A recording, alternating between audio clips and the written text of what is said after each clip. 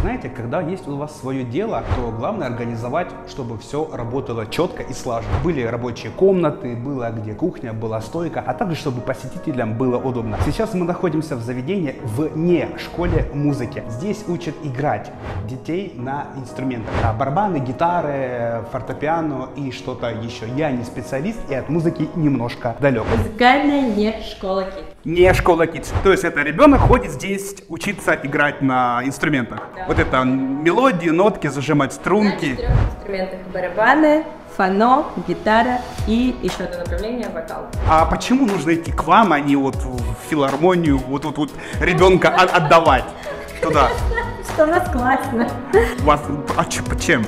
Ну чем круче? В отличие от классической музыкальной школы, у нас есть своя авторская методика. Мы преподаем так, чтобы у детей в первую очередь был очень быстрый результат, во вторую очередь результат невозможен без понятной подачи материала, и третье, это, наверное, самое большое отличие, это то, что детям здесь нравится, им хочется сюда возвращаться. Это прямо максимальное от- отличие от э, музыкальной классической школы, там дают хорошее образование, но дети после обучения там забывают напрочь музыку и никогда в нее больше не возвращаются. Ну, в большинстве своих случаев. Потому что правильно, музыкальная школа это, конечно, круто, классно, но это безумно скучно и очень долго. А если вы хотите получить результат от ребенка быстро, сейчас, здесь, чтобы ребенок был доволен, счастлив и весел, а главное, научился классно играть музыку, то что? Приходите в школу Музыкальную не школу.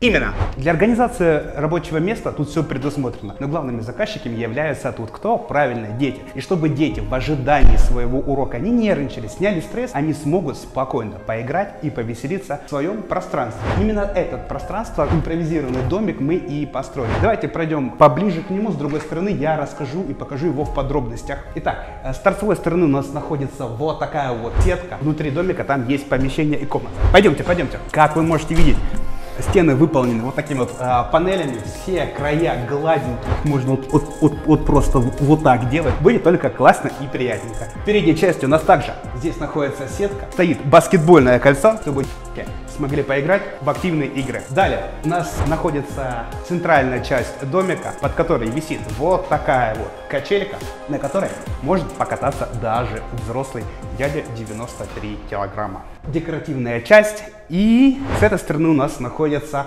вот такая шикарная лесенка, выполненная из мебельного щита. Речки до потолка, которые ограждают а, лесенку, чтобы ребенок не выпал. Сбоку у нас много полочек для хранения таких игрушек э, и всяких принадлежностей. На втором этаже у нас мягкая часть, и дети смогут э, чилить, веселиться, отдыхать и играть. Выполнено это все из натурального дерева, окрашивание краска альпина на водной основе. Вот такие дела.